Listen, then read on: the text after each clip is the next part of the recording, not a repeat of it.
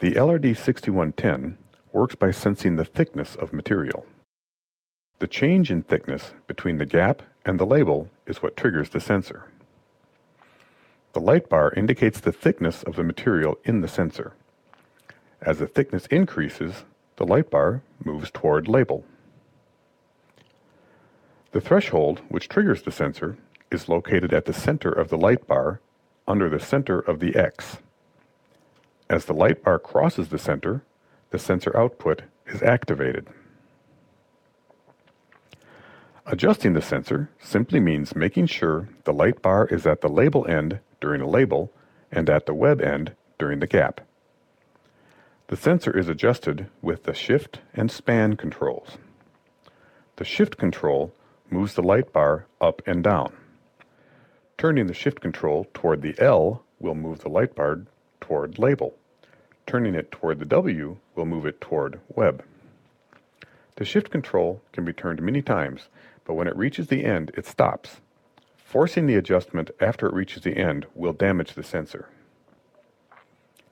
The span control sets how much the light bar changes in response to changes in thickness. When span is at its minimum, the light bar moves very little when sensing a small label. Increasing the span by turning it clockwise increases the span covered by the light bar as it changes. The span control is a four-turn adjustment. The adjustment will continue to turn after four turns without damage, but adjustment is no longer being made.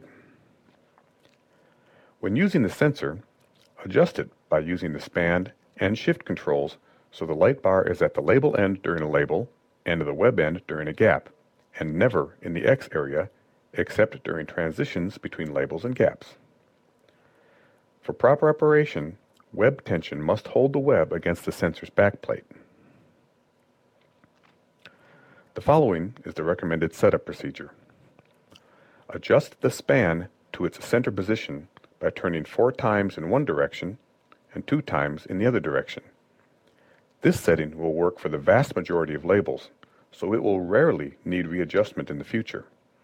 Only readjust it if the light bar does not have enough span to go from label to web. Remove one label from the web. Place the web only in the sensor.